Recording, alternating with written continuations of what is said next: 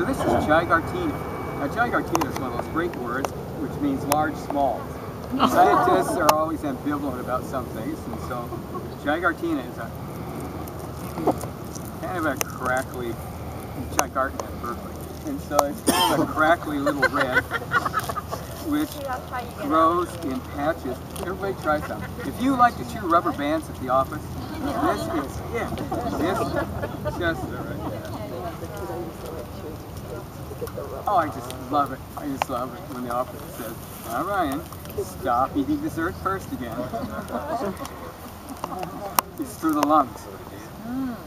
Because unless you have really a virulent mucus producing infestation or infection, then stuff stays in the lungs. And the contact time on the alveolar cell walls can be months, years. talk, yes, talk to people who have COPD.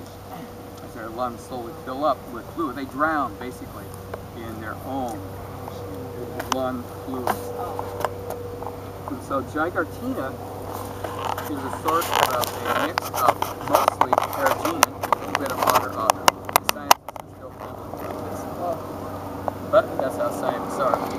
And carrageenan is the red seaweed only phycopolymer. It's globular. Globular. So it needs to be cooked out the red seaweed. So I do it overnight front box in the liquid plant or just on a vector wood stove using stainless steel pot or a day or two. And put it in containment so that the seaweed doesn't just disintegrate and make glop. Gel cooks out and then I pound it out of the, jelly bag, an underwear bag, an old fuel filter from a Boeing 707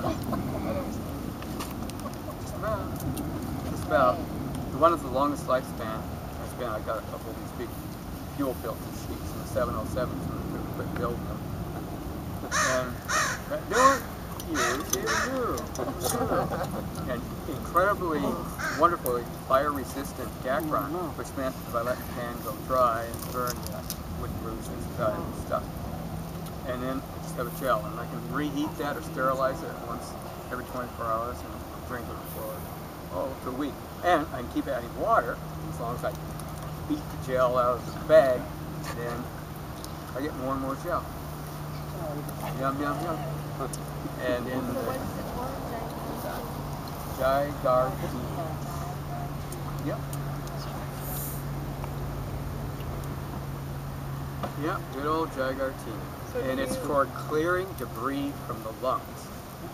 And because the body absorbs it from the intestinal tract, it travels to every mucous membrane in the body and improves mucous membrane function. Jeremy, did you bring a hat or something? I'm getting ferociously sunburned. And the, some things I won't. Oh, thank you. There you go. We could move tables too, Ryan, if you want. Yeah, to you sit in the shade to- over there. Yeah. Well, I'm the only one. If you face this way, maybe Yeah, stand over there. That's a nice hat. We'll try this for a while.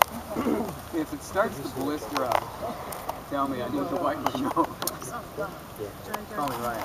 Yeah, it's been a long So, is carrageenan, Carrageenan, carrageenan, just look at any ice cream package. right, right on there. But I, I mean, is it iodine? This information. We're, look- we're passing around the iodine. Yeah. So is that what iodine is? It's like, it's like people inherit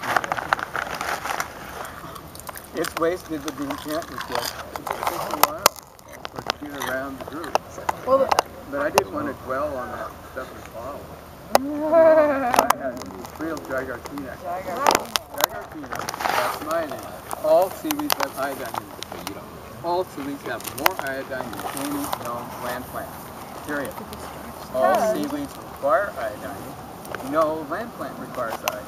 It's getting sound like a gas. You could use it to soak your feet if you had England coming. You could throw some in some water, because that's what they have to do with ice. Really? Wouldn't that feel good too? Wow, I don't know. Now, why do you use iodine? Is this to kill foot fungi? That was what the doctor ordered. Where was this guy? Um, and I, I, I followed up on that. So was it just iodine tincture? treatment. I had to buy it behind the counter at, at the uh, pharmacy. Really? Iodine treatment for ingrown toenails? Toenails. I thought surgery was a lot faster. Well, after the Oh, so he didn't get infection. Same reason they bathe cows' teeth in iodine after or before and sometimes you know, after and sometimes before every milking, so they don't spread cystitis by the milking machine. Remember, iodine is never mentioned on ingredients. In milk, ice cream, cheese, all water-based dairy products, on and on. So where were we?